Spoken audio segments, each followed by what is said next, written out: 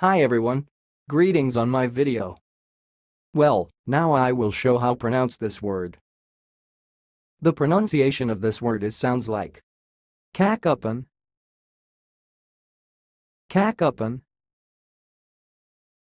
I will repeat it more slower. Cacapon